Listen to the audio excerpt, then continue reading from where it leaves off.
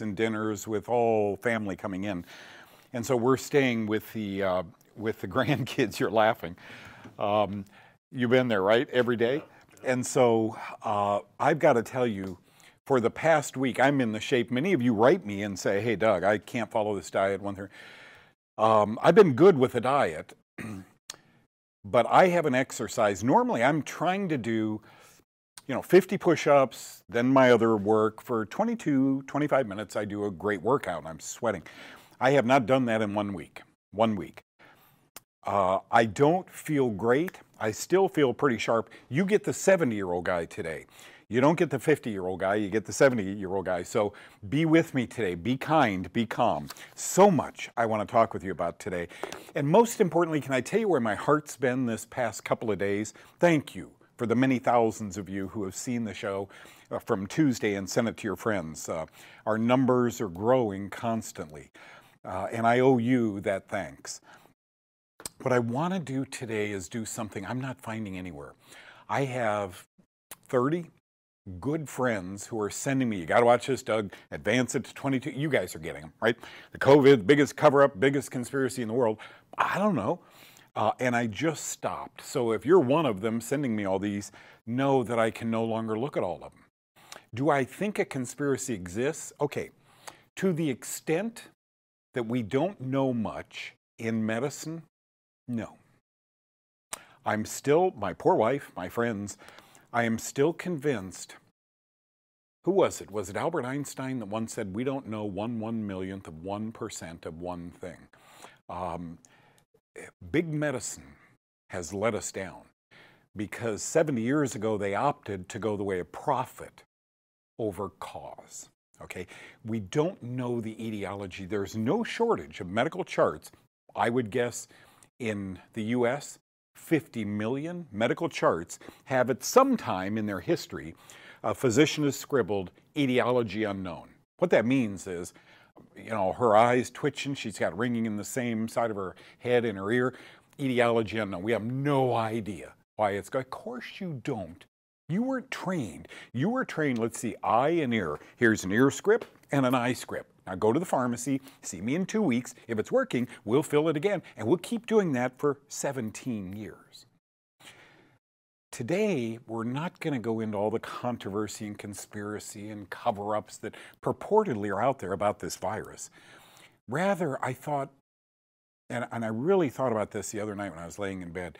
What you guys need is, is an understanding. When I used to sit with these doctors' patients for you know, 10 hours a day. Some of you have written me. You were Dr. Weekly's patients, you know, 20, 30, 33 years ago.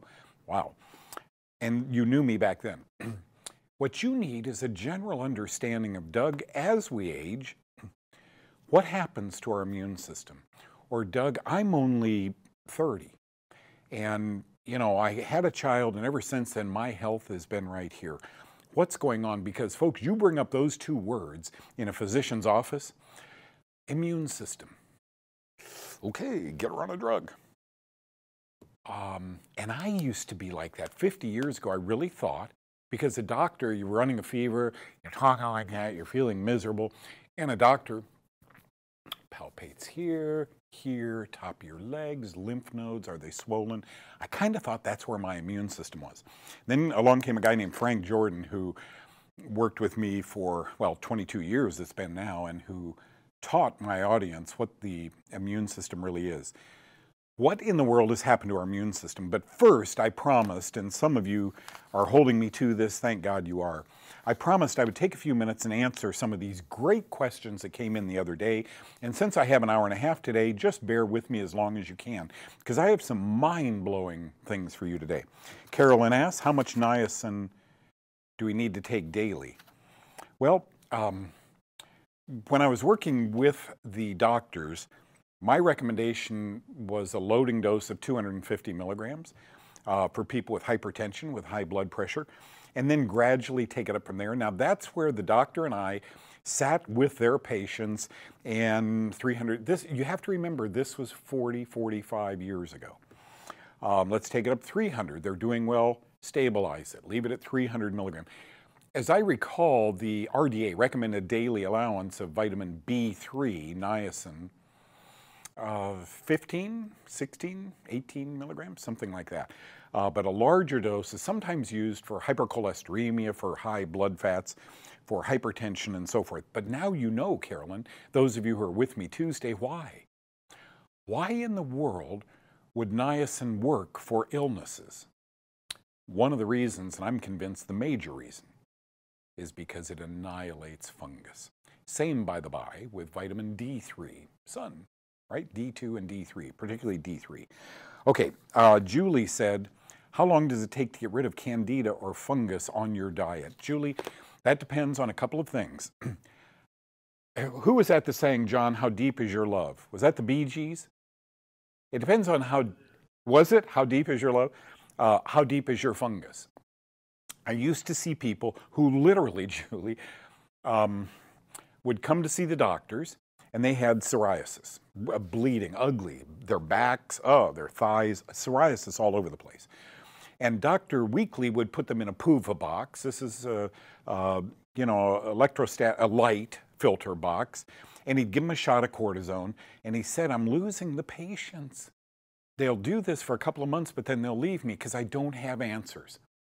And, uh, you know, and we are in a position to help doctors not lose these patients. That's why David hired me in 1986 uh, to help him not lose patients. Sometimes, Julie, in, they would tell me in four or five days on this diet, uh, these things cleared up. Now remember, they were on a couple of antifungals also. Our first plan, because of hepatotoxicity, right? So it's liver toxicity. Our first plan was to get them off of the drugs when I would use herbs, thymol, carvacrol. You know, I, I would use niece who came to see me, and uh, it took her probably two years before she got over some of the worst symptoms I had ever seen. Uh, and so you just need to know how deep is your fungal problem. I don't know that. But if you know, Doug, I've had these symptoms for 17 years. I want you to think back Carolyn, to where, or I'm sorry, Julie, to where did you get in touch with it? The moldy home. That's it. Or lots of rounds of mold, oh, dare I say, antibiotics, which are mold. Um, that's when my life changed. Think back, the terrain, we're now linking almost every disease with the gut. Okay? So understand when this is bad, so is all of this. Great questions. Thank you. How long does it take? If you don't have a life-threatening condition, if you don't have stage three, four cancer, advanced diabetes, lupus, any autoimmune disease, there's what, 150 of them or something, try the diet. You guys try the diet. I'm going to teach you why in a few minutes. Okay, Beth said, I was diagnosed. Remember, we talked about carpal tunnel. I used to recommend vitamin B6, pyridoxine, for people with carpal tunnel. They thought it was tennis elbow. Uh, not wanting to be sued for repetitive motion problems, which was really the problem photocopying lots of articles from me, thick journals before the internet. They told me I had to have surgery on my carpal tunnel. This is my friend Beth, but gave me a treatment option of using ice every 15 minutes. My point. I have carpal tunnel. I've had this for years, says Beth. Put ice on it every 15 minutes we have a virus that may have mutated and formed a, a, relationship, a genetic fuse with a fungus. Or maybe not. Maybe I'm wrong on that. We have a virus doctors don't understand. Am I shocked? Never. Okay? So they told you to put ice on it. Now that was impossible at work. And also before KTC, Doug's information. I did ice, rested it, and it healed itself. Of course, that was also with a lot of prayer. Amen to that. Um, so Karen says, 10 days on your Kaufmann 1 diet, my blood sugar were normal. I couldn't stick to the diet after 10 days. I felt sick, wanted to try it again. You might try using, if you're craving carbohydrates, either that's your body telling you, advance to the Kaufmann 2. Try some beans, maybe a little more fruit, red apples, you know, uh, and see if you can maintain that diet. Especially, I didn't get this from you, Karen, but if you had uh, you know, high blood sugar levels and it's stabilized after 10 days on the diet, you want your blood to get back under 100, you know, your serum uh, glucose levels. So you might advance or try the Kaufmann 2 and see what happens. Uh, last week, and there's only one or two more, and then I'm going to go to what I want to talk about today. You aren't going to believe this. Yes, you are. You guys have been with me a long time. Linda last week uh, went for a medical appointment, told the nurse practitioner I was in the process of using beta glucan, detox cleansing system, and I was extremely satisfied and happy with the results so far. Oh, John, I hope you have the time to listen to this. She said, Oh no, that's bad for you and everyone. I told her to research and don't be so closed minded and shook my head. I also gave her a copy of your book, The Woman's Health Problems, uh, for a Christmas gift. She never mentioned if she ever opened it. Uh, have to take our health issues into our own hands, young generation of health providers. Years, years ago, I met a man. He died, and his funeral was last week. He lived around the corner here. And I bought uh, this property, and he has a little tiny old wooden home that his dad moved into the property. Um, he passed. But before he, he went in for a physical, and they, uh, and he ended up dying a short time later, uh, maybe a year, John, two years at most. But I used to go shopping for him, and I couldn't believe what he ate, but I never, you know, I was just hoping nobody in that store would ever see me with, you know, this kind of food. Ate a lot of bread, had a lot of uh, soda pop, and so forth. But I kept, is a neat guy, and I kept him happy. The point I want to make is they moved him to a nursing home after a botched surgery. And he had a stroke and he couldn't talk. And I got him, we always laughed how he couldn't see that much anymore, so I used these little 1.25s. So I got him a pair of bigger glasses and I got him a Bible. You say, I handed that nurse practitioner your book. She probably threw it aside. And his sister told me that he picked up that Bible and began reading it. Okay? Was I glad I deposited that Bible? You will likely be happy, Linda, that you deposited that book on her. One day, even a nurse practitioner, deity, if you will, will pick the book up and say, What a joke, and start opening it. And she's going to make it through it. Many people have told me that they gave a doctor, this was years ago, when I first wrote the books 20 years ago, they gave a doctor a book and uh, he looked at it quickly and threw it in the trash can. Doesn't hurt me, but that's pretty rude. Uh, okay, so I think you'll be happy you did that, and I'm glad to hear that. Beta glucan, I'm so big on that. Uh, thank you, NSC beta glucan. Doug, what do you recommend for sinus problems? Knowing the cause isolating the cause. And to do that, Sheila, you have to go back to when they began. Oh, no doubt. This began when I got married. We love antiques. When antique shopping filled it, oh, we have this old sofa, and every time we sit on it, poof, you get this little bit of dust that goes in the air. Um, and the house smells a little mildewy, our friends us. Bingo, bingo. Or I live in Chicago or surrounding areas, and I have a basement. And you know, when it rains, it pours, I go down there to do laundry. Folks, many of us had grandparents with homes like that, and we slept in the basement. We were three, we were seven. Now we're older. Mold doesn't go away when you leave the bedroom. We have a trapping system. It's called a mucous membrane, secretory IgA, coating our mucous membrane tissues. Vaginal yeast in women, nasopharyngeal sinus or nasopharyngeal candida problems, everywhere it's wet. Intestines, bingo. And so just by leaving that basement or that home 10 years ago when you got married, the mold didn't exit. These are opportunistic organisms. When the opportunity's right, when's the opportunity right? I've been really sick, got a lot of diarrhea, stomach problems. I feel I'm dehydrated. I feel so depressed. Opportunity, horrible for you and me, great for fungus. When you're down, they're up. Okay? Good, good question. So, sinus problem. Mayo Clinic said 21 years ago, almost all of them are fungus. Sad news when you go to a doctor for your chronic sinus problem today, you're going on a medication that is not used for chronic sinusitis. It's called an antibiotic. Here we go, John. Yep. I was going to get a little more done here. Uh, fighting, okay, Judy, Doug, fighting another infection, gum and teeth hurt. MSC Uh, MCS seems to be telling me I'm in trouble. MCS, uh, multiple chemical sensitivity. Multiple tells me I'm in trouble. Hated starting uh, non-penicillin antibiotics, but my heart was hurting. I notice new apartment has some moldy odors, but uh, mostly sealants and counters. Is infection caused? Is infections caused by mold? Uh, I think what she's asking here is, can my multiple chemical sensitivities worsen in the presence of mold? Document it in the scientific literature. Uh, thank you so much, Judy, and thank you all of you. Now, let me, before I answer your questions, I've got some important stuff to tell you.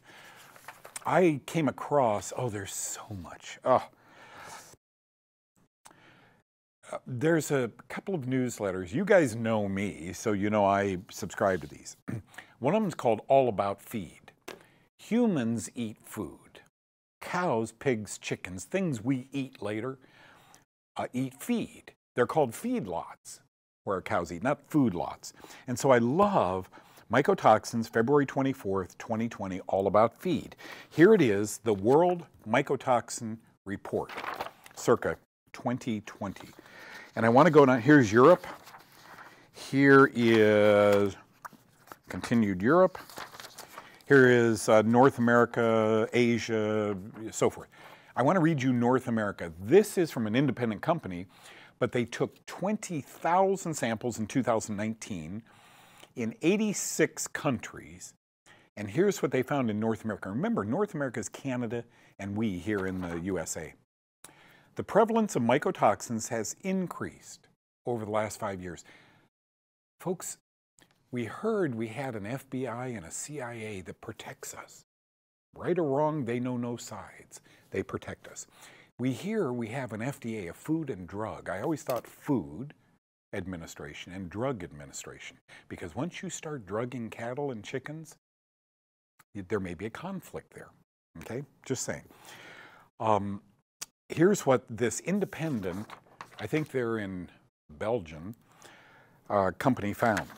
The prevalence of mycotoxins, mycotoxins are poisons made naturally by fungi, has increased over the last five years in North America. Last year's survey showed a 90% DON, deoxynivalenol it's called, prevalence in finished feed samples that go to our cows and chickens and foods and so forth, with a maximum concentration of about uh, nine parts per million. Normal for human feed with this deoxynivalenol. It's also called vomitoxin. What do you think it makes the animals do when they get into it, right? Um, normal is 1%. Approved is 1 or under percent. Here's 9% parts per million. DON prevalence in corn samples, uh, followed uh, by fumonisin with 78% and zearalenol 55%. In addition, co-contamination is found in 75% of the corn samples in America. Uh, so I did a little study. I thought, I've got to help you guys. Here's what your doctor doesn't know. God bless him or her, folks. They didn't learn this stuff. This is a Belgian company you got to go to to start figuring these things out.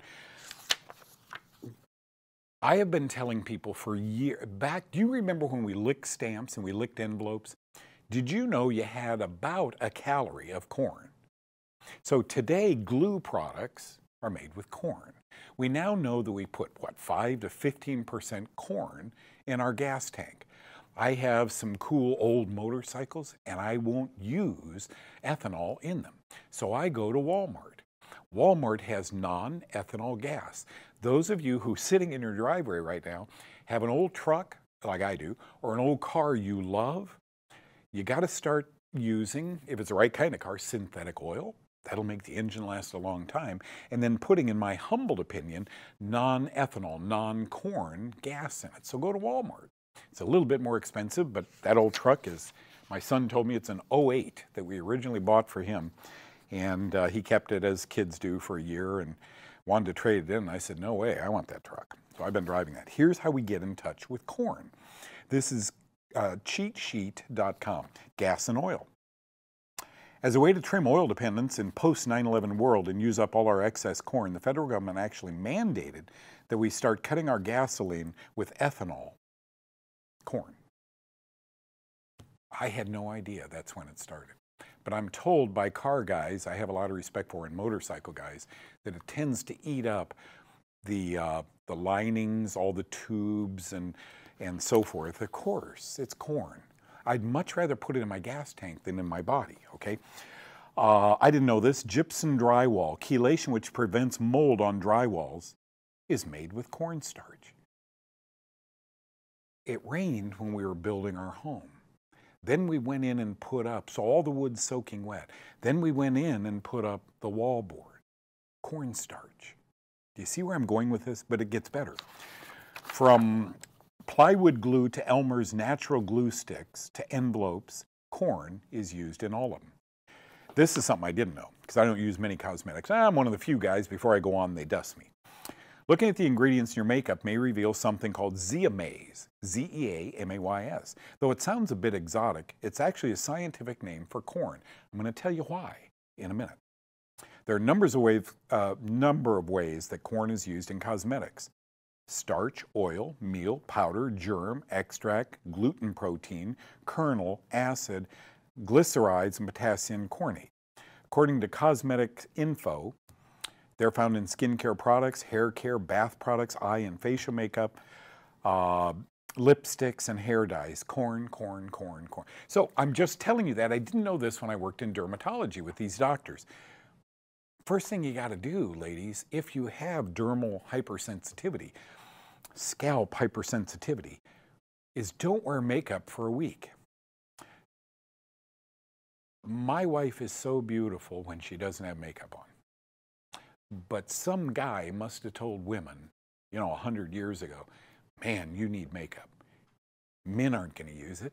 So let's make, I mean, it's tragic that corn, corn, corn, corn, corn. If you notice atopic dermatitis, allergic dermatitis, or you know what, Doug, I, I, my lips have started swelling. That's a good thing if you don't have to pay for it. My lips have started swelling. And that's right. I bought some lipstick. Just think that way. Think about before you go to night, uh, bed at night, think about all these things. Think about corn in all of them. Some examples of makeup containing corn.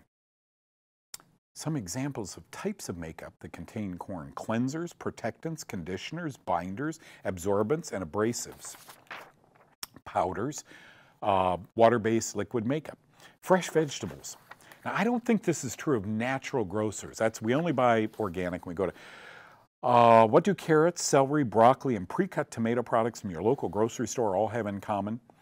Corn-based processing aid made by Global Protein Products from zein, Z-I-E-N, a principal protein in corn. It retards dehydration and oxidation, leaving the vegetables to appear fresh and fresher than they really are.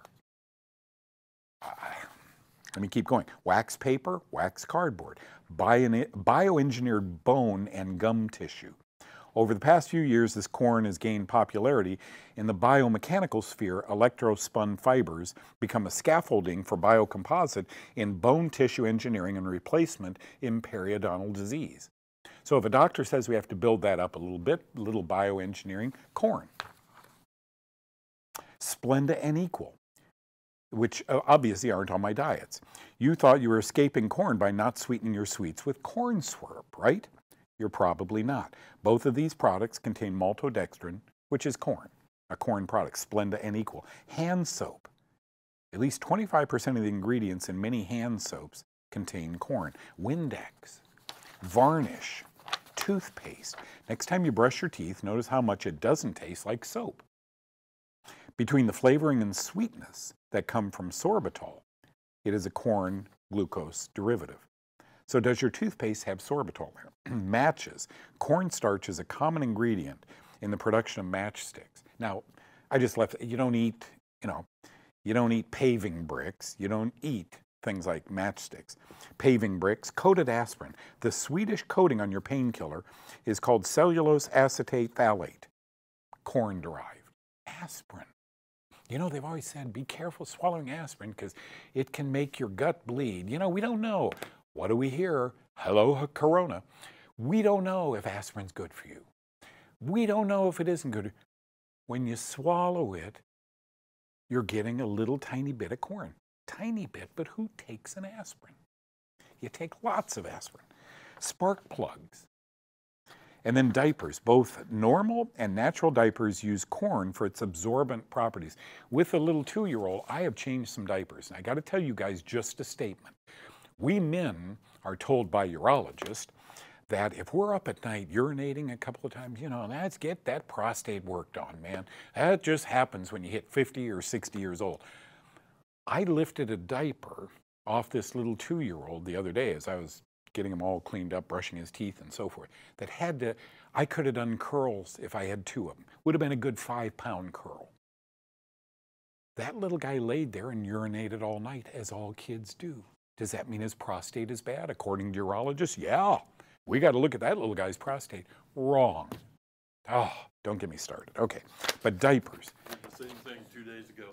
Do you believe how heavy their diapers With a are? two-year-old. With a two-year-old, that's right. Sam, his uh, their diapers, John. They have this absorbent in it now, and I don't know if. uh, Did I ever tell you the story? I got in trouble one time. I was working on a pediatric ward in the Navy, and a guy named Danny and I. You don't want to wake those kids up, especially at night.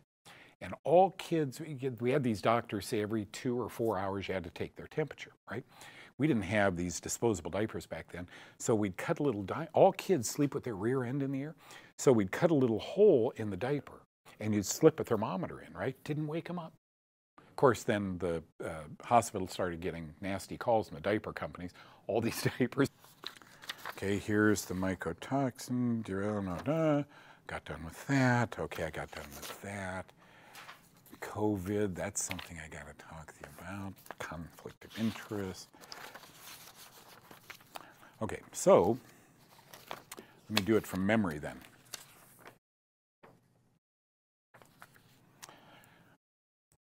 Zearalenone is a mycotoxin made by Fusarium mold. Fusarium mold is common, common in our states, greatest country in the world. It's common in our corn supply. The FDA is looking at uh, some of the mycotoxins made by corn, you know, aflatoxin B1. But this is in wheat and barley and rye, and I got to thinking, wow, gluten free.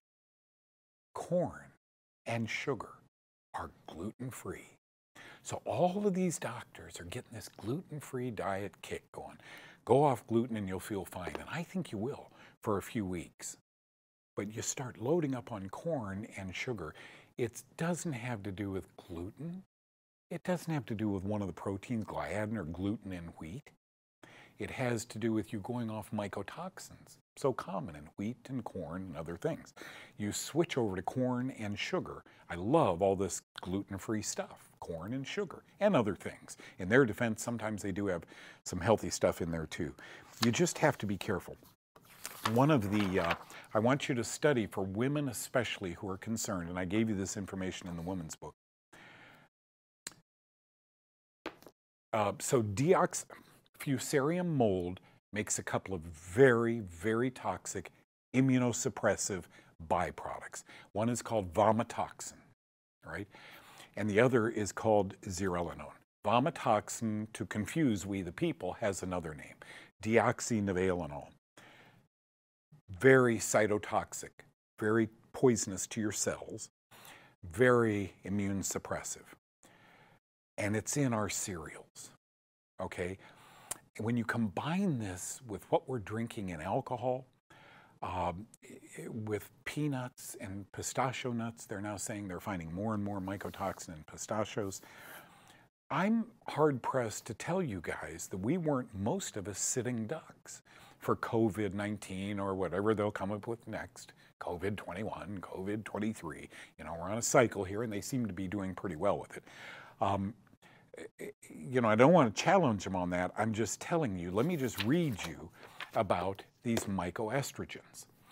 Myco means fungus. These mimic, here is a fungus that makes a secondary poison that mimics human estrogen. What is zearalenol? Zearalenol is a synthetic, I'm sorry, Zeranol. A drug company makes Zeranol. Why would a drug company make Zeranol if it's a poison? It's a natural chemical, zearalenone, produced by the fungus Fusarium. In vitro, outside of the body in a test tube, zearalenone stimulates growth and replication in human breast tumor cell lines that are sensitive to estrogen at rates similar to those induced by the natural hormone DES that injured so many children 60, 70 years ago. Uh, estradiol and the naturally known carcinogenic DES. In 1981, the European Union banned the use of Zeranol and other growth promoters in cattle farming because of their potential to cause cancer in humans. And in 1989, the European Union prohibited the import of beef from the US or Canada that use Zeranol as a growth promoter. It's used as a growth promoter. Nobody sells a 70 pound cow.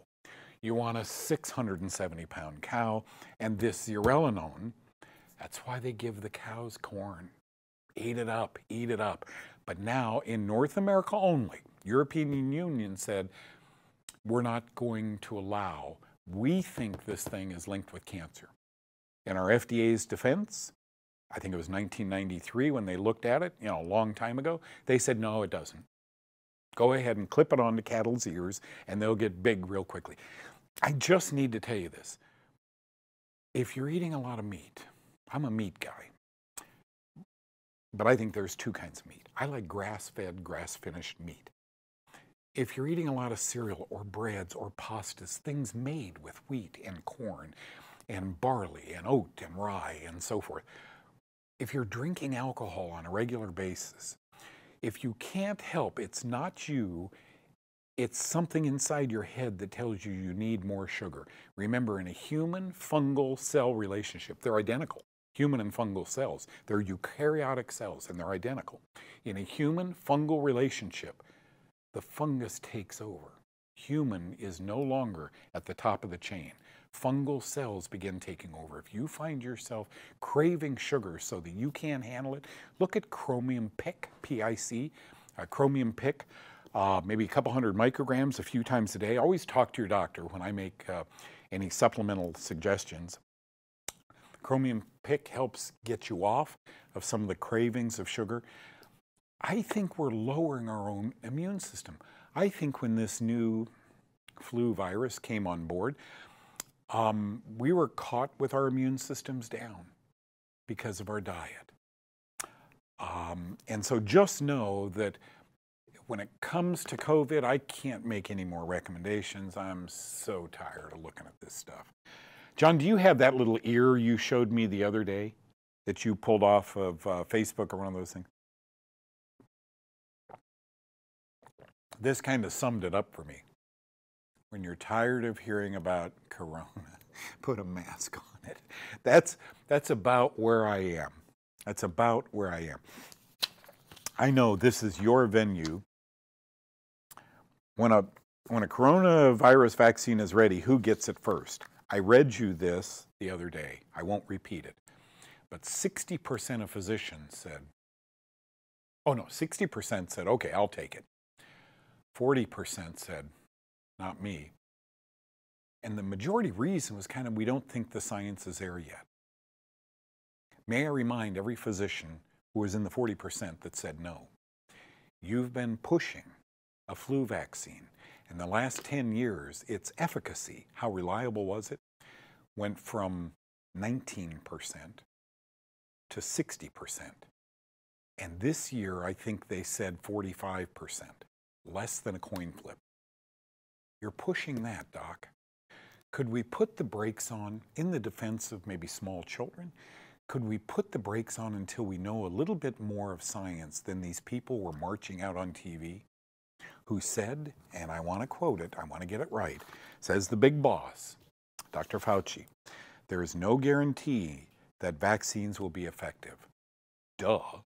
19 to 60%, one that we recommend every year older people take. He said, I'm cautiously optimistic. Well, that's great. The vaccine induces a suboptimal response. The receiver may be injured by it. We hope, we hope, we hope. Not that they'll be injured. We hope that the vaccine will come and that it will work.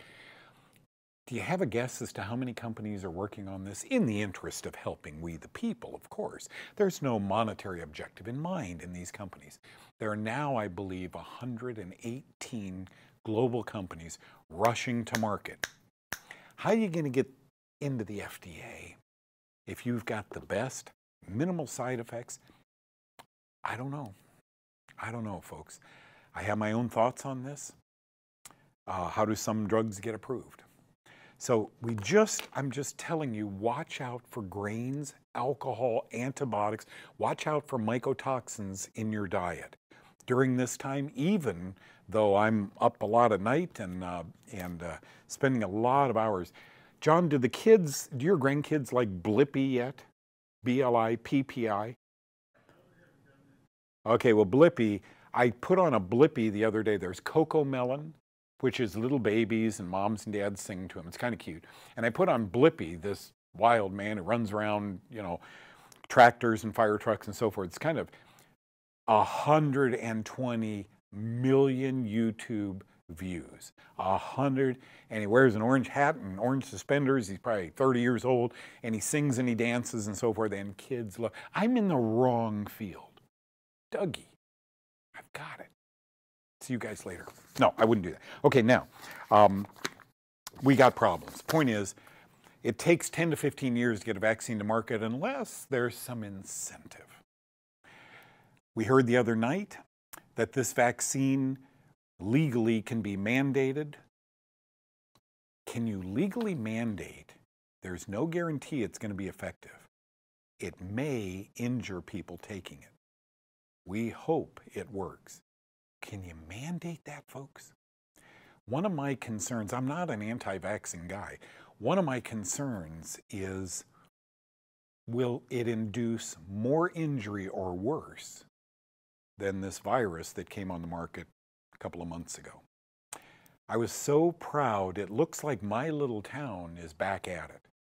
And no longer am I going through the middle of town with all the stores and shops and restaurants angry. I used to sit in that one mile run of the old downtown area for five minutes, just moving along slowly. I now am high fiving every car and every truck I see. I'm glad to be back at it. Okay, now you guys turn. I did pretty good. I did pretty good. Okay, you got me for an hour. Let's do this. There's something about you guys wake me up. May I just say, if Angeline Lawler is watching, congratulations. Uh, she became one of these certified assistants now who can work in, uh, and I hope she does, she's that good, uh, work in a doctor's office. I love the idea about getting counseling credentials food, nutrition, supplements. There are people offering herbal. I went through a, I don't know, six month course after Dr. Weekly died. I thought, oh no, I can't get diflucan, nystatin, sporanox, lamisil, ketoconazole. I can't get any of those anymore. I wonder if plants or herbs have antifungal properties. And it was great. Get that education. If you've got a big heart, you're looking for another career, and there are millions of Americans who are, I would find most doctors are going to resist you. They're doing just fine. Take this prescription. You're going to find, I found a dozen, two dozen in my lifetime. Now they all want me. Um, Angela's gonna, Angeline is going to find someone. And what that someone will learn is Angeline's only been here six months. You're kidding. She's made me $180,000 from being here. Um, and Angeline needs pay. You know, work out a deal with the doctor. Can you help a doctor maintain uh, his patients? I did it. I did it 45 years ago in LA. I did it 30 years ago, 35 years ago out here. You can do it. Doctors desperately need someone in their office to say this word. They can't say it, so you have to. Cholecalciferol, vitamin D3 sunlight, niacin, capricin, caprylic acid, right? Um, they don't know those words, nor do they know they're antifungal. They're busy writing prescriptions, right? So I hope we're going to see this huge turn. I think Mark Sisson, uh, the paleo guy, I see him really advertising heavily for counselors, nutrition counselors. Um, and I'm glad to see that. Okay, here we go. Now on to you guys. Martine. Oh, did you read that, John? Martine, our friend in the UK. Um, I had my cancer test. Last time I heard from Martine a week ago, she had taken some tests to see if she had cancer. They're clear. They were clear. I've been prescribed Sporanox today also. Martine, high five. Martine, the UK is filled with good doctors. I used to be on God TV in hundreds of countries. I just couldn't afford with this, uh, with the advent of this viral uh, pandemic. Uh, I was limited in the amount of money I could spend, so I stopped on God TV. But there were doctors in Canada who were prescribing antifungals, or in Canada, in the UK, England, just because I was on TV talking about it. Become one of them, Martine. You had a scare, the worst scare people can have. And now you've got, I think, one of the best anti, hmm, I think one of the best prescriptive antifungals on the market today. See, I like onions and garlic and broccoli, and I like Brussels sprouts. Um, great, great antimicrobial properties. God gave us food. Congratulations, I'm really happy for you. Uh, Aurora, it's a pretty name. Doug, can you tell me what might cause head tremors and chills? Thank you for your response. Uh, John, do you have that list of mycotoxins are? I know you're busy in there, but um, do, can you put that up? You got to read this, Aurora, and everybody. Mycotoxins are. So mycotoxins can cause cancer. Not all of them do, just a few of them do, maybe five or six. But as you go down, they're tremorigenic. They can cause tremors and seizures is number two. Wait a minute, corn? If it's impregnated with myco, are you telling me, Doug, peanuts? Are you saying whole wheat? Yeah. Look at that list. The heart, the lymphatic system, the skin, the endocrine system. They're endocrine disruptors. Why is my thyroid misbehaving? Think endocrine disruptors. Mycotoxins are. The cool thing about that graphic, they're estrogenic. When I put that up to a group of doctors, I wish you could be little tiny people sitting on my shoulder watching. Uh, Doug, could you put that back up? Hepatotoxic? Nephrotoxic kidney? Mm-hmm. Yeah. Anything but the teeth. They don't know the single most important thing that you now know. Mycotoxins can cause thyroid disease. Very well documented. Mycotoxins can cause tremors and chills. You got to be kidding me. When, do you know what the Kaufmann flu is, right? It's nothing like the corona flu. Uh, Kaufmann flu is when those of you who are really riddled with fungus in your body, you start the Kaufmann diet and you get sick and your nose starts running and you're chilled and you run a fever and you take a hot bath. It's like the flu comes on for a day or two. That's what we call a Herxheimer or a healing crisis. Um, yeah, fungus does that. So Aurora, think about the Kaufmann diet. Think about the supplements we've talked here, a multi-B, maybe some resveratrol. Um, you know, uh, they're good antifungal supplements on the market today. If you have a serious problem, I would encourage you to do what I did decades ago, and that's talk to your doctor just like Martine did and get Sporanox. Fungistatin stops it growing in your bloodstream. That's important. Thank you. Great, great questions. John, you're right. When John brings all these out, he says these are such great questions.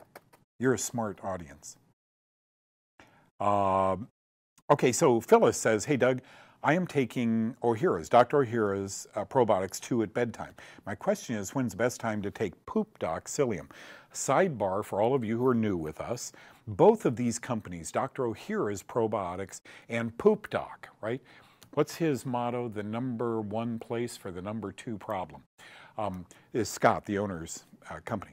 They're both paid advertisers on my television show. Nobody pays me to talk to social media, and I like it that way. Um, so I can make recommendations. There are lots of good probiotics out there. There's uh, lots of good fiber out there. I'm always going to recommend these guys because I've vetted them uh, and I know what they are and I know they work. Remember what psyllium is. It's a non-digestible fiber, poop doc, non-digestible fiber. Why would anybody want that? For two reasons. Number one, most of these mycotoxins end up in our gut. The fungi and the mycotoxins end up in our gut. Psyllium binds mycotoxins, and I believe colostrum, mom's breast milk, does also, binds mycotoxins in the gut and then enhances peristalsis. That's, ooh, I got to go to the bathroom. And boy, do I know that now with these two kids in my house. Coco, I got to go to the bathroom. And zoom, you know, off they run. Um, so psyllium is a good thing to take. I would, the way I take these, uh, I take two, uh, probably four days a week, two of Dr. Ohhira's probiotics after dinner. A couple hours later, I write, I read. A couple hours later, right before I go to bed, I'll take a scoop of Poop Doc, shake it up, and shoot it down. Okay, so the probiotics are now in the gut. They're living bacteria. They're doing their jobs, right? And the uh, and the poop doc then absorbs the bad guys and out it travels, right? Okay, good. Thank you. Uh, Kathy says, "Hey Doug, do you have anything that would be good for arthritis or gout?" So five years ago, I saw an ad on TV. A fake doctor, just like me, a paid actor, had a stethoscope around his neck, and he said, uh, "You know, I, this ad is all about gout." Now, everybody knows that gout is caused by uric acid. It's the beer drinker's disease. We get into yeast other ways, but that's one major way. If I had gout, I'd avoid baker's and brewer's yeast. What makes bread rise, right? What makes alcohol ferment? Uh, I would do that. I think arthritis often, and remember, I'm not a doctor, the scientific literature does not say this. This is my guess, working with so many people with arthritis, rheumatoid or osteo. Mycotic arthritis, fungal arthritis, the scientific literature says is rare. Um, and yet, I've worked with so many people who had skin problems, and when they came back in a couple months, said, Look, man, I've never been able to get out of bed and do that in the morning. It works. I don't have any pain anymore. I think fungus causes huge problems inside and on the human body. Gout, I believe, is caused by fungus.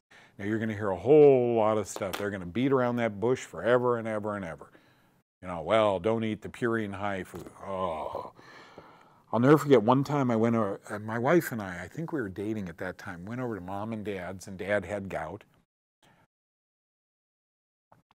And John, we brought over fresh organic artichokes. Man, I love by the time you get to the heart, I still love art.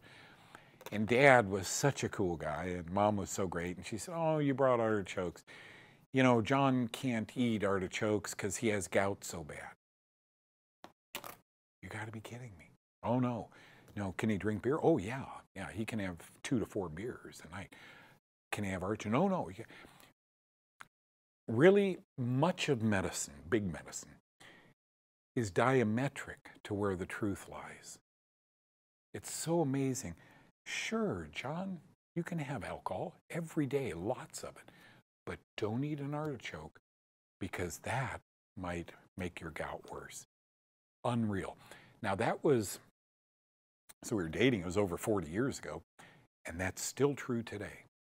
If you have gout, the doctor who is nutritionally oriented uh, is going to hand you a list. We don't want you, you know, spinach. Oh, no, no, we don't want this.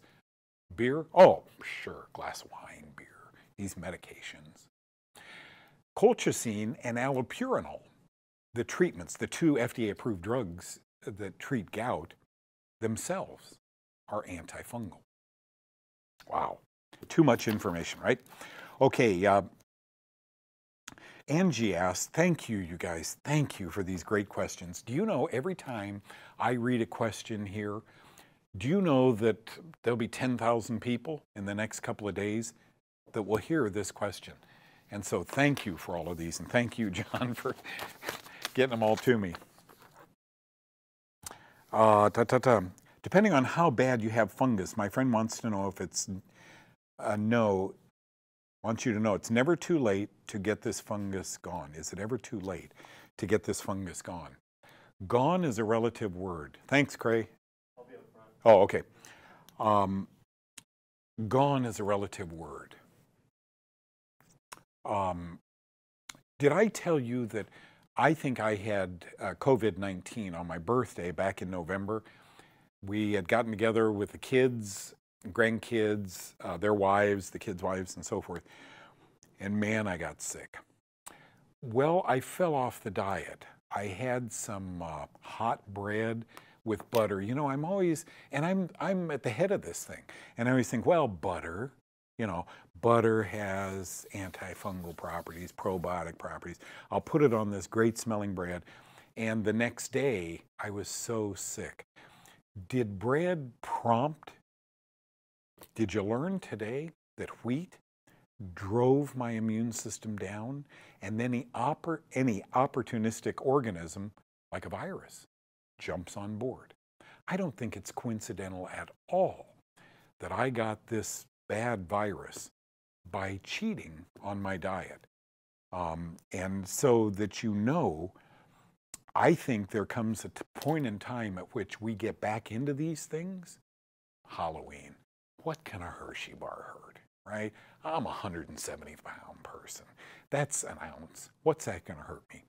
And if it were one Hershey bar, maybe not. I always tell my wife, this is the way we test these things, right? Go to uh, a kid's house for Thanksgiving, we have a little wedge of pecan pie. We're going to test. We're going to see what level our fungus is. If I eat that pie, my bowels don't work for two days, my skin itches, I'm cranky, I had too much fungus in my system. Do you ever get rid of it? By the way, it's on board to finish you off. Mummies, you know, thousands of years old, when they took the olive leaves, it's called oleuropein in olive leaf, right? When they took the uh, antifungal, when they took the olive leaves off the mummies, their skin and facial features were intact. Fungus want the deeper you dig, the more fungi and bacteria there is in the soil. Fungus wants nothing more than be reunited with its family. Is it coinkadinky when you die, they're going to dig a six foot hole and put you in it. They win, you don't. So gone is the operative word here. Depending on how bad you have this fungus, is it possible to ever totally get rid of it? Some of the people I worked with, the doctor's patients, swore by it. I'd see them in stores from time to time, health food stores. And uh, this just happened a year ago or so. Um, a famous person here in Dallas. I was at Whole Foods Market uh, with my wife, and this lady came up and said, Wow, Doug, remember me? I saw you with Dr. Weekly. Oh, yeah, how are you doing?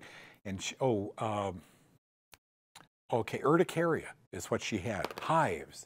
And man, they were bad, itchy all over body. Um, and uh, the doctor used antifungal drugs. I used my diet. And she said, I probably haven't seen you in 20 years.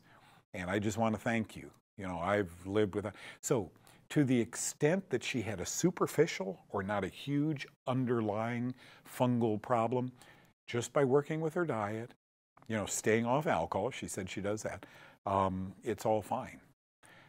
Deeper mycoses, people with cancer, people with diabetes, people with crippling arthritis, people with autoimmune diseases. I think it's going to take a while. Here's the good news can you retard a physiological illness? I think you can. I think you can put it on hold. The most exciting time when I used to work with all these doctors' patients was the first month. We'd have the patients come back in two weeks. You couldn't believe it.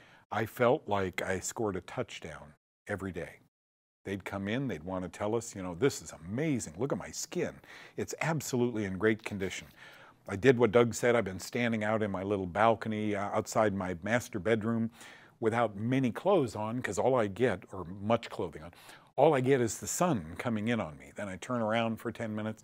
That's helped, like the Puva box, right? Um, and then my diet and so forth, that's really helped. Then people, this is human nature, then people begin to fall off the program. Look at how pretty it is. Do I need to be on this program? To challenge is normal. I never called it cheating. To challenge is normal. Just like I did my birthday with that bread. I had to challenge it. And boy, did I go down quickly. Uh, so uh, the longer you're on it, the more it works for you. Okay? Do you think uh, different blood types might be more prone to fungus? Looks like A type blood have more problem with uh, COVID 19. Any thoughts about that? Who is that doctor? I interviewed him on my uh, uh, Dr. D'Adamo. Wasn't that him? He wrote Eating Right for Your Blood Type, type O, type AB, AB negative, A, etc. Um, have um, you know different uh, uh, different uh, blood types. He says should eat this diet. I never found it to be true. He's a great interview. Theoretically, he's right 33% of the time, uh, which reminds me, with my son out here, he got in my truck, that middle thing we opened, and he found my old dog tags from Vietnam. Mom gave me a St. Christopher medal, and then we had uh, two dog tags, and every time I took a step, it made a little noise, the metal on metal. So I wrapped it with some white tape that I had in my medical bag. And uh, Evan found that. And uh, wow, man, that's 50 years old. 50 years old. So he wants to know if I can make two of them, one for he and his brother for Christmas and give it to him. And I think that'd be pretty neat on their keychain. Um, this is really a good question, Becky. Should a healthy body be able to combat and fight, uh, fight most forms of fungus? Is this epidemic caused by our poor diet and unhealthy bodies? I think we were sitting ducks. Fast foods and antibiotics change the rules, really change the rules in America.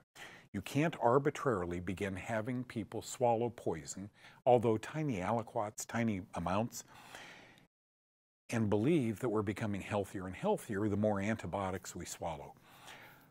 Um, how, having said that, there were miracles. Many people are alive today. I think it may have leveled off by now. There's a darker side to antibiotics. Someday I'll walk you through that. It's an ugly side to antibiotics. Um, and our medical community is not aware of that. They know that antibiotic stewardship has fallen by the wayside. They're not good at stopping antibiotics. It seems to be one of the tools they get away using on everybody all the time. And uh, they haven't gotten away with it. They haven't good people, folks, but they learn in their medical training the answer lies in your fr right front pocket. The answer is never, oh no, stop drinking if you have uric acid levels high, gout. No, no, don't stop drinking. Um, so, yeah, really good question. Should a healthy body be able to combat and fight most? Yes. This is the way the human immune system works we went out finally there were nobody out at this table that we were sitting at with some of the family uh, is gathered here and so they had their kids we had the grandkids and uh, my son and his wife were there and other people and the kids went off and began playing in dirt and the little boy fell and started crying you know and he's got mud all over himself and then while he's crying he sticks his finger and I love the way people take, go, no, no, no, don't. It's the way you and I grew up. Exposure to antigens, an A-N-T-I-G-E-N. An antigen is anything capable of eliciting an immune response. The immune response varies, but we have a perfectly round lymphocyte called B cell lymphocyte. It makes a mirror image of that chip of mud and bacteria. And in a two year old, harmless. Now, like I said in the women's book, he's got immunomemory. If there were 18 bacteria and 42 fungi that he just put into his mouth and uh, had a little scrape on his arm, um, he's now making antibodies to those. That's the way the human body should work. Isolating well people and telling them not to leave their homes. No, no, don't go to the beach where negative ions are coming off the waves, where the salt in the water is extremely therapeutic and in the sand. No, no, don't go in the sun. Remember, sunburn is going to kill you. Um, that's so illogical to me that it's borderline, it's very poor information from those of us uh, who are paid to make medical decisions. Any physician telling us to stay quarantined when this little guy just made antibodies to 48 different things. Yes, Becky, and you bring up it's the greatest question in the world. Um, how do I know if this is COVID? Folks, they can do a blood test we, I started on this the other day. We have five protective antibodies. If you can remember GAME D, IgG, the antibodies are also called immunoglobulins, right? IgG, IgA, IgM, IgE, and IgD. The relevant ones here are IgM and IgG. IgE we call the allergy antibody. We're launching an allergy response. IgA is secretory made antibodies. But IgM, if you take my blood and say, Doug, you have Epstein Barr, how do you know? Well, I did a blood test for Epstein Barr. Eh, which antibodies did you test? Well, I tested IgG. And so I'm positive to IgG? Yeah. Folks, that don't get it done. IgM is what we call the initial, the initial antibody response is IgM. This virus has been around a few months. You would be making an IgM response first few weeks. So if you want to know if this sickness, I don't know if they're using this, I doubt it, um, and you have a COVID positive patient, test it IgM and IgG. I don't think that information would be useful to them right now, and here's why. IgM converts to IgG antibodies. And IgG antibodies, no physician in the world can tell how long ago you were exposed to IgG antibodies. Could have been when you were six months old or one day old. You're born in a nosocomial environment, in a hospital moldy bacteria environment. As well as they try, and I have no axe to grind with hospitals, they got mold problems and they got bacterial problems because they have really, really moldy and bacterialized patients in there. So understand if you want to know I got a sore throat. Man, I'm running a low grade fever. Oh, I'm so tired and I hurt so bad.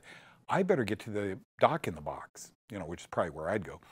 Um, and I'd ask them, instead of doing the nasal thing, yeah, it's COVID, I'd say, can you do a blood test? And would you do me a favor? Test IgM and IgG. Um, if it comes back IgM positive, good for you. It's COVID right? You've just been making antibodies a week or two, and so that's it. If it's IgG to COVID or SARS, it was years ago, you've had this thing for a long period of time, and that's not responsible for causing your symptoms. So if your doctor does a Candida albicans test on you, and it's IgG, and he comes back and says, yeah, no wonder you've got thrush and yeast problems all over, you've tested positive to Candida albicans. Can I see my test result? It's IgG. I could have had that when I was a day old. IgG just lives and lives and lives. If it's IgM positive to Candida albicans, bingo. No wonder this is growing all over my tongue. No wonder I put a Q-tip in and, and I wish I could pull it through. You know, it itches so bad. Um, so just a little bit on this testing and uh, and thank you, Becky, for bringing that up.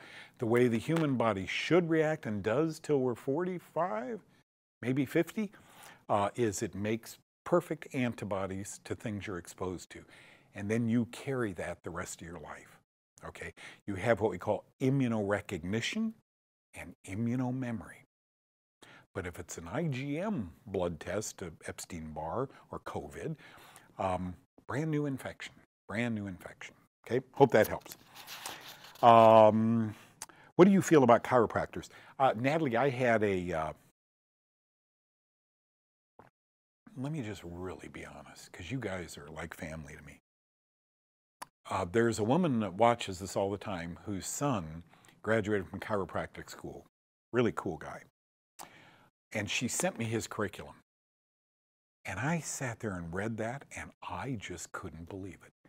They get huge number of hours in nutrition, right? Whereas a doctor, a doctor can, a physician contends well, I got a lot of, no, you got biochemistry. You got how bacon breaks down, you know, and how you assimilate it. You didn't get, you know, it's funny, when I eat bacon, I get migraine headaches, bingo, and chiropractors do. So I was really overwhelmed. Now, here's my axe to grind with chiropractors. I know you want to be called doctor.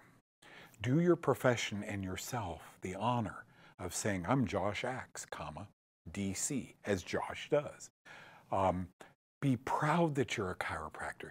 The name doctor to Doug Kaufmann, mm, Um, and it differs from person to person. There are a lot of people who totally respect and trust doctors.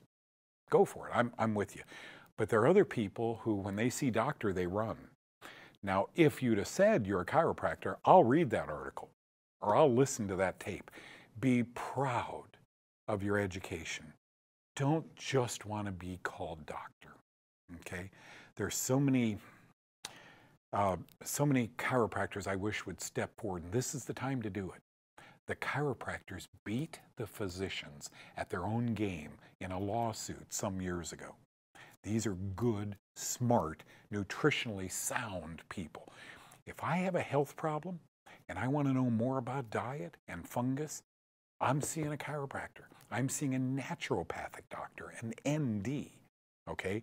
Um, you know, you don't go to a doctor to get your oil changed. And, eh, you know, if I need my oil changed, I'm going to go to a, somebody that knows about that. So when it comes to nutrition, that's probably not. Don't scare us. Don't scare us. Stop it. Look what fear has done to us. It's got us to listen to you. That you're going to come up with a vaccine that will be mandated. Eh, may injure, may kill, but it's a vaccine nonetheless. Ain't going down that road. Just not. Okay? Um, I use things that are safe. I don't even like GMOs, right? I don't even like all the chemicals, the petrochemicals. I don't even, I didn't know my carrots were sprayed with corn. I'm learning all the time. Linda, if we could have your small support group and we could get people to visit it, I know you're not a doctor. I know you know after your journey a lot about health and nutrition and fungus. I'd be happy to give people that information. So good. What brand of uh, beta glucan do I recommend? There's a lot of them out there. Beta 1316 glucan. Beta 1316 glucan is the one I recommend. And I'm also going to tell you that beta we have we have what we call receptor sites on our cells for beta glucan. Okay? But most beta glucan on the market I've heard is much too large to stick in to the receptor site. Pretend this is a catcher's mitt. Here comes the ball. So what the beta glucan company I recommend, and that is people who advertise on my show, it's called nsc24.com, Nancy Sam Charles, nsc24.com, and they'll send you some free. A lot of you guys have got it free. Um, they have shaved it. They do this at the University of Nevada in big medical settings. They have shaved it. Now it's hanging on and protecting your immune cells. They're the only ones I know that do that. Did you guys know that oatmeal, the glue, when you mix water and oats, that glue is beta glucan, right? But beta 1316 glucan, there are a lot of good ones out there. Somebody pays me money every month to advertise, the NSC 24 company does, to advertise on my television show. Now, if you've got a problem with that, find a beta glucan that's beta 1316 glucan, preferably one that's micronized. But Frank will send you some free and let you try it. Um, so, just so you know. Martha says, I received my cookbook. Just wondering, is almond yogurt okay on the Kaufmann One diet? Is there an almond yogurt? We eat um, goat yogurt, almond yogurt. I didn't know there was an almond yogurt. Okay, think about it. If there's no dairy, I'm worried about, you know, lactose. If there's no dairy, uh, but almond wouldn't freeze like that. I don't know the answer to that. I didn't know there was an almond. Can one of you guys do the search for me and uh, let Martha know? Her name is Martha. Receive my cookbook. Just wondering, is almond yogurt okay on the Kaufmann One diet? I don't know the answer, but I'm sure you're going to get helped. Okay, for every month, wow, Chris, for every month I've been away from mold, I've gained back more of my health. Others are blind to it. You can't make someone see clarity who finds comfort in their own fog. That's my new bumper sticker, Chris. Now, all of you watching right now and who will watch today, tomorrow, over the weekend, uh, thousands of you, Chris just made my point in opening today. instead of worrying about if we're going to stand in line, can you imagine how long the line will be for 330 million people waiting for a vaccine? Oh, I saw the funniest. Let me finish this thought. Ruth would say, um, as, as long as we hear that you're only quarantine sick people, as long as we hear you need a mask, no, you don't. You know what the new one was, you guys? I, I read it and just started belly laughing. The new one is, for some reason, if this is a conspiracy, man, it's a great one. They measured how far my sneeze spit goes. Oh, it's 1725 feet. And don't touch that table. Well, now they've said, well, that sneeze spit isn't contagious. Wear a mask? I don't think so. Don't wear a mask, you're going to jail. I mean, confusion is so deep. I don't want to go there. It's causing too much stress. Got all these doctors for, all these doctors against, and I'm not a doctor guy. Okay? So to me, this is ping pong. I don't care. I'm well. I'm trying to teach people how to get well. But I asked myself in bed the other night when the grandkids were down, what do they need to learn? How to keep your immune system well. Nobody said it better. Doug, I, Chris is saying, I've gained back more of my health. Others are blind to it. Coronavirus, totally blinded by it. And I'm in the healthcare field. Okay? Folks, you talk about I was so happy to see the New York firemen shooting hoses in the air when nurses and doctors got off work. Where was that when I came back from Vietnam? Where was that? You know, you're in weird situation out there in the field in Vietnam. You got people shooting at you, torrential downpour, guy with a neck wound, a sucking chest wound, no fire department for me when I got home. As a matter of fact, we were spat on. We were loathed by Americans. So I, I'm one of those guys who really has a rough time saluting the medical force out there. They're doing a great job. You're doing a great job, and you get a great paycheck, okay? The sad thing is how many are losing jobs right now. But you know what, John? This opens up for them an opportunity, and I hope they're watching this show. These are credentialed people who should go to doctors who are losing 80% of their patients and saying, I know how to keep your patients here. I think we're all heroes, folks. I think the mom raising an autistic child is my hero. Okay? Um, I, we use that word so lightly. We throw it around so much. What are you looking at, John? Am remember I? we were talking today about we were kids, we played in mud, yeah. dirt, and then the ponds and the John, uh, John grew up in Kansas. I grew up in LA. And it was fairly common, John and his brothers and sisters made a, when it rained, had a big mud pool, and he was telling me they all ran. We didn't have those slip and slide things then. The grass became the slip and slide. And they'd go head first into mud, and their mothers would laugh, ha, ha, ha, come on in. You're all going to take a bath. Yeah, you build dams, dam up the. Uh, that's the way the immune system should work. Um, I just, I don't know. Um, you know, there are heroes in all of this. The family that didn't get to say goodbye to loved ones, heroes. Okay? Um, you know, we've all had tough times in life, and I guess I've still got a chip on my shoulder that when we got home, we were told to hush up. Don't tell anybody you were in Vietnam. What? There were guys with arms missing that I helped. There were helicopters landing it was such a madhouse when the shooting started. No fire truck shooting water when I got home. And I guess I still have a bit of chip uh, on my shoulder when I see doctors and nurses earning huge amounts of money, doing their job, uh, being held heroes. You know, it's their job. And I respect the fact that many of you guys know something weird's going on and you're holding it inside. Because that was me 50 years ago.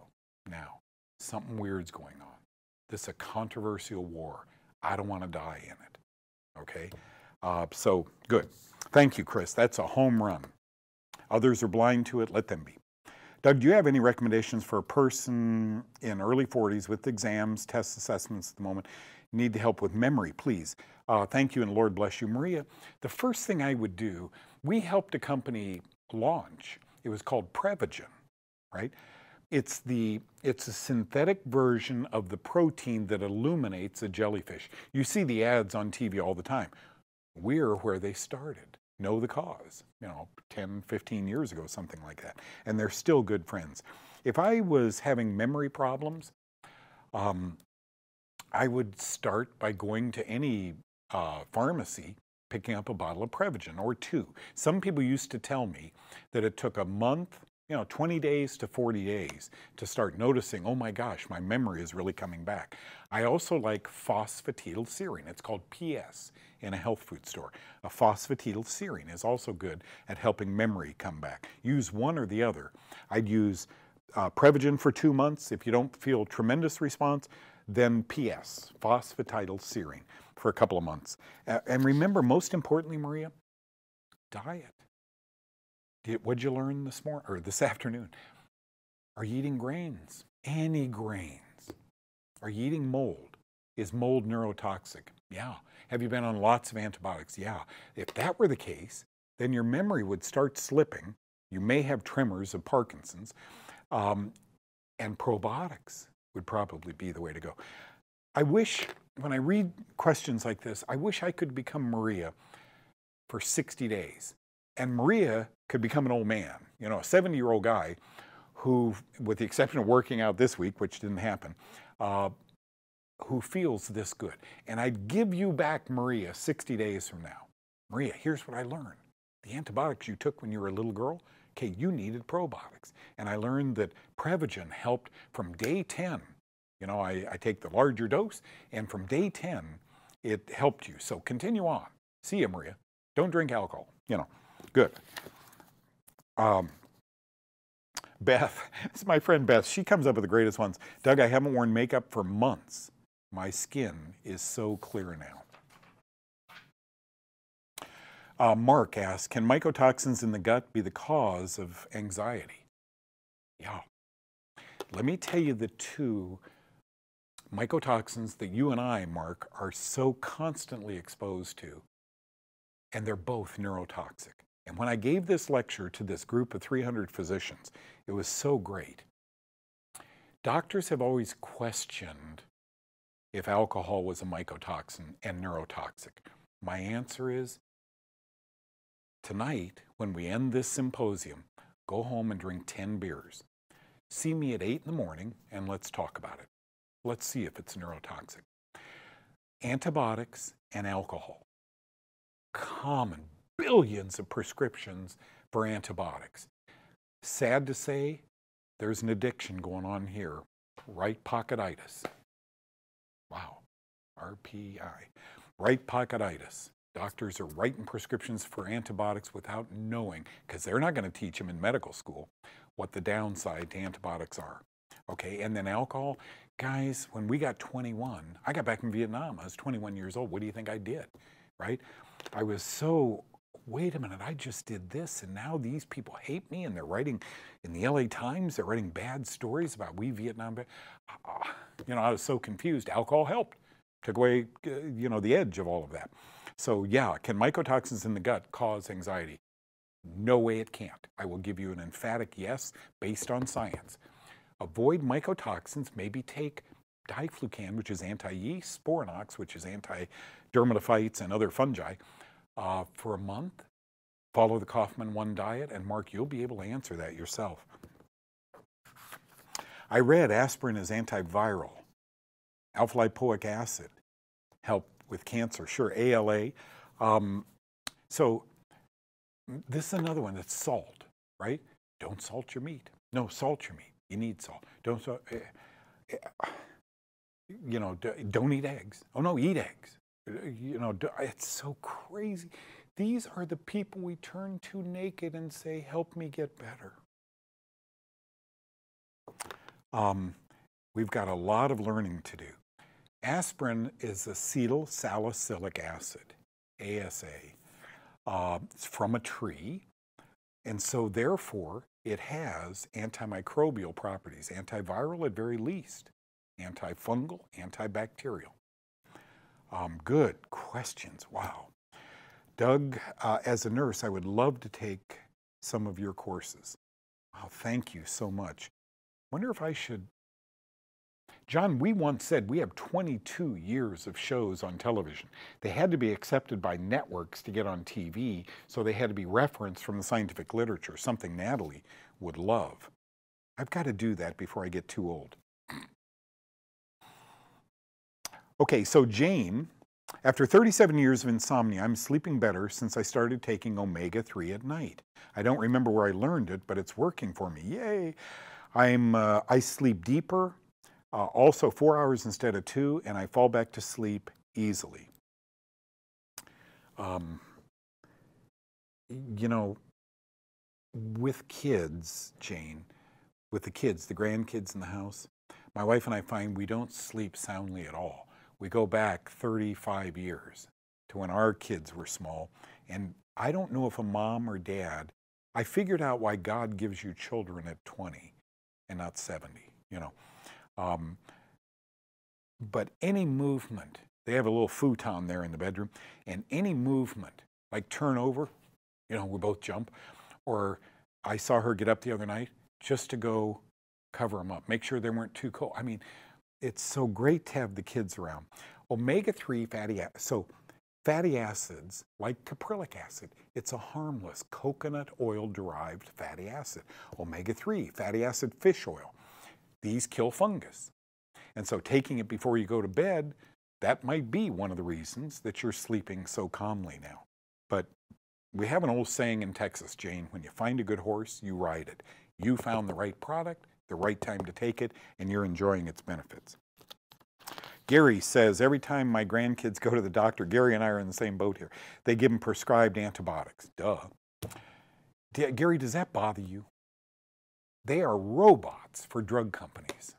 And that really, I take, I take issue with that. I'm really angry at that. I gave them some black elderberry liquid, good for you, and gave my son your letter, the fungus link and prescribing antifungals medication to give to the doctors in Reno. Reno is such a cool town. Some of my family lives in Minden, Gary, you know, right around the corner there. And when we get up, you know, the mountains, the snow, Reno, you guys, if you haven't been to Reno, you got to go. So a black elderberry liquid, of course, antimicrobial. That's why it helps so many kids. I'm like you, Gary. I am so distraught with antibiotic factories. But they'll keep churning out graduates as long as those graduates keep reaching into their right pocket. Um, B complex makes me a horrible person. I can't take it. Even the food-based supplements, I can't take B12 and niacin. Any idea? I wonder, Jane, if you have to, uh, if you're toxic and you have to detox. Have you ever done sweating? Have you ever sat in a far or a near infrared sauna? Detox for a month. Get on the right diet, you know, for a month. And uh, see if then your levels don't stabilize to where they seem like toxic reactions. Guys, I have to go. I did it. I'm not 70 years old. I told my wife this morning I'm not 70. I feel like I'm 80. Uh, but this weekend, I'm going to go back to 50 years old again. God bless you. Thank you for telling a friend about this show, and I'll see you Tuesday at 3 p.m. Central Time. Take care.